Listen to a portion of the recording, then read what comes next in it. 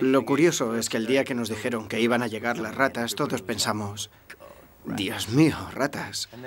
Luego al verlas nos parecieron muy bonitas. Las tenía en la mano la mujer que las trajo y las veías allí, lavándose y eran muy bonitas. Todos los de la compañía decíamos, oh, qué monas. No creo que a los soldados de la Primera Guerra Mundial les causaran la misma impresión. Estoy seguro de que ellos las espantaban y les resultaban muy molestas, pero no presenta ningún problema rodar con ellas. Tienen sus propias caravanas.